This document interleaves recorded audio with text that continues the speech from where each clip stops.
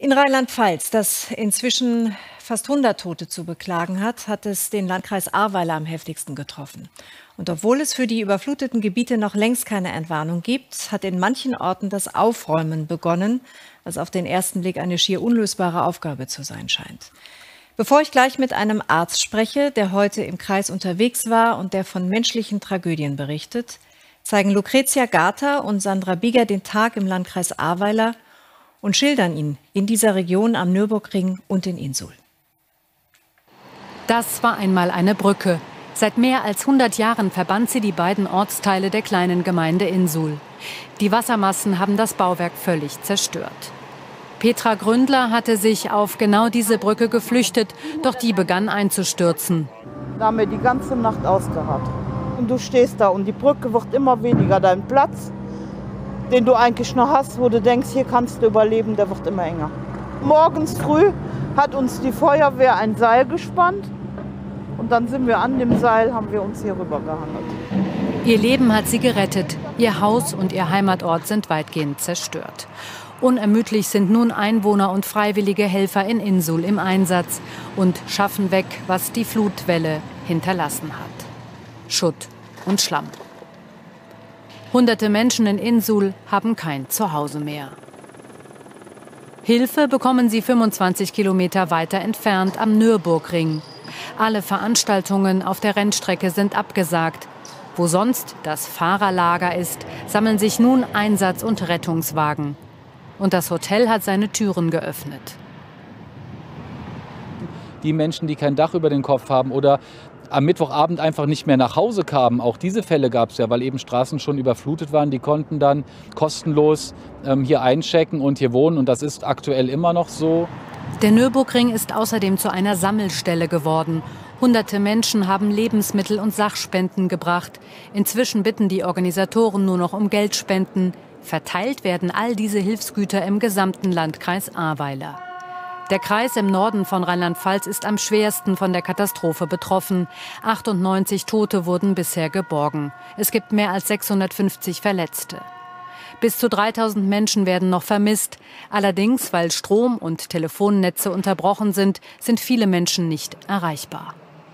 Die Polizei fürchtet, dass die Opferzahlen noch weiter steigen könnten. Möglicherweise auch in Insul. Die Menschen hier schaffen und räumen. Zeit zum Verarbeiten der schrecklichen Ereignisse findet hier noch lange niemand. Das, das kann man nicht kapieren. Man sagt, man ist in einem Albtraum, zwick mich und lass mich wach werden. Aber du bist ja hellwach, du bist ja da. Es ist ein Albtraum. 700 Menschen leben in Insul.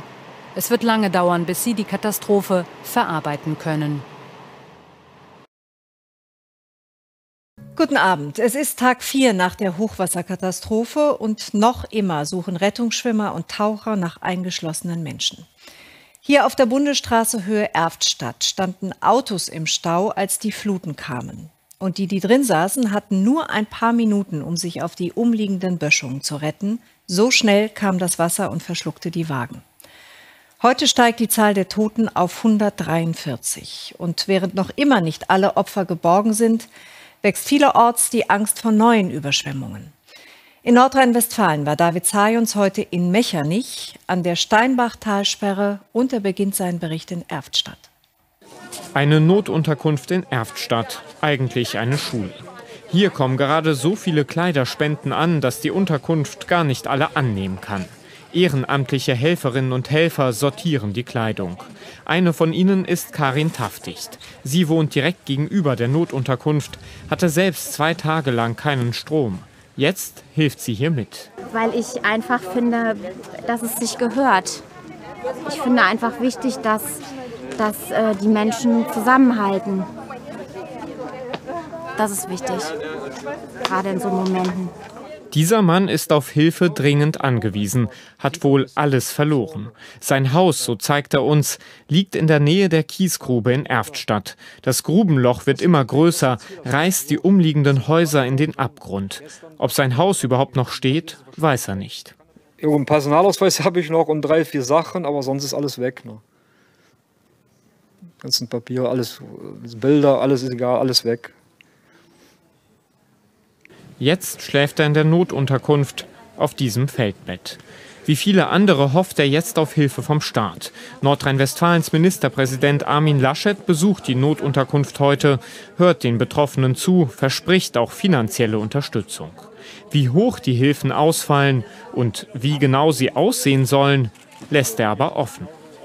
Nein, das kann man noch nicht genau sagen. Es gibt die Beispiele der Hochwasserhilfe in der Flut 2002 und auch danach noch einmal. Und das wollen wir als Muster nehmen.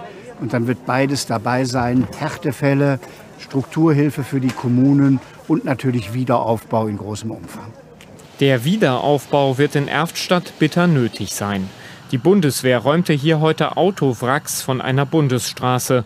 Auch Bundespräsident Steinmeier besuchte die Stadt. Ich finde es sehr gut, dass die Länder und der Bund sehr frühzeitig signalisiert haben, dass denjenigen, die vieles verloren haben, die große Verluste erlitten haben, dass ihnen Hilfe zuteil werden soll. Während der Bundespräsident spricht, ist im Hintergrund zu sehen, wie Armin Laschet ausgelassen lacht. Laschet entschuldigt sich später dafür, er bedauere den Eindruck, der entstanden ist. In Laschets Bundesland gibt es immer wieder neue Schreckensmeldungen. In Mechernich in der Eifel drohen Bergbaustollen durch Unterspülungen einzustürzen. Die Behörden verhängen ein absolutes Betretungsverbot. Die umliegenden Wohngebäude werden evakuiert. An der Steinbachtalsperre, die im Süden von NRW die umliegenden Orte vor Flutwellen schützt, bleibt die Lage angespannt. Aber immerhin gelingt es Feuerwehr und THW weiter Wasser abzupumpen und Druck von der Staumauer zu nehmen. Die Hoffnung auf eine baldige Rückkehr in die evakuierten Häuser und Wohnungen wächst. Wir werden morgen noch mal mit allen Beteiligten, mit der Stadt Euskirchen, mit den Einsatzkräften, mit der Bezirksregierung, die auch hier vor Ort sein wird, uns die Lage anschauen. Vielleicht können wir morgen zur neuen Bewertung kommen und schon etwas Erstes sagen. Aber die Menschen müssen sich darauf einstellen, dass sie erstmal noch äh, evakuiert bleiben müssen. In der Notunterkunft in Erftstadt, die der Ministerpräsident besucht hat, gibt es viel Dankbarkeit für die Arbeit der hauptamtlichen und ehrenamtlichen Helfer und ein Gemeinschaftsgefühl bei denen, die schon seit Tagen hier ausharren. Es geht gut, wir haben Gott sei Dank liebe Nachbarn und Freunde, die helfen uns gegenseitig, wo wir können. Wir haben Gott sei Dank mitgekriegt, unser Sohn hatte gestern die Möglichkeit, mal zu gucken. Da waren die Wege wohl relativ trocken. Und sagte, Gott sei Dank, die Wohnung, die ist noch in Ordnung. Also außer Keller, dass da eben Land unter ist, aber oben ist soweit okay. Das gibt dann wieder ein bisschen Hoffnung kleine Hoffnungsschimmer inmitten der großen Katastrophe. In den Katastrophengebieten im Westen Deutschlands ist das Ausmaß der Schäden noch nicht abzusehen. Tausende Einsatzkräfte suchen in den von Wassermassen zerstörten Ortschaften weiter nach Vermissten. Mehr als 100 Menschen sind nach derzeitigem Stand durch die von Unwettern ausgelösten Fluten ums Leben gekommen.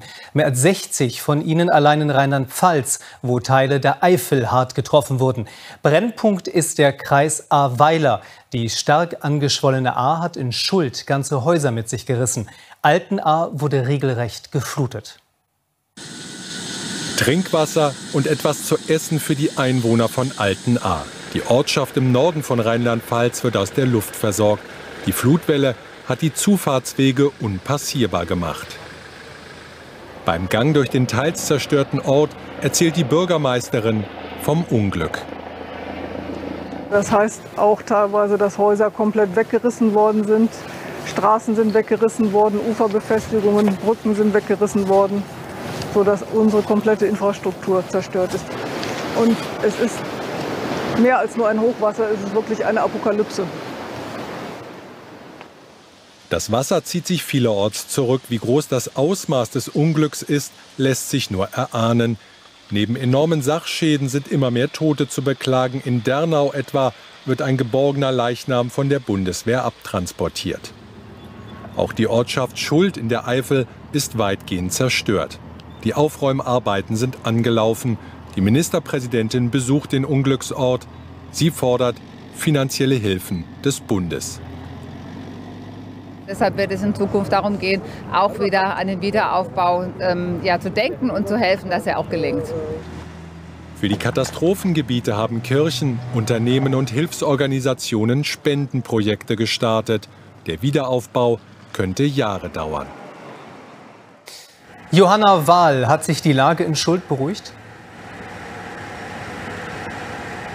Nun, die gute Nachricht hier aus Schuld ist, dass offenbar niemand zu Tode gekommen ist. Das sagt uns der Ortsbürgermeister. Und das ist angesichts des Ausmaßes der Zerstörung hier ja fast schon unglaublich. Hier hat nun die Zeit des Räumens, des Aufräumens begonnen. Die Bundeswehr ist hier mit schwerem Gerät aufgefahren, mit Panzern. Bagger heben hier beschädigte, zerstörte Pkw beiseite. Und Menschen aus ganz Deutschland bieten ihre Hilfe an, wollen mit Schippen und Kleinlaster helfen kommen. Dafür aber sei es noch zu früh, sagt mir die Feuerwehr. Am Sonntag wird hier die Bundeskanzlerin erwartet. Und dann will der Ortsbürgermeister die Chance ergreifen und ihr das sagen, was er heute der Landespolitik gesagt hat, nämlich, dass man sich schnelle, unkomplizierte Hilfe erwartet.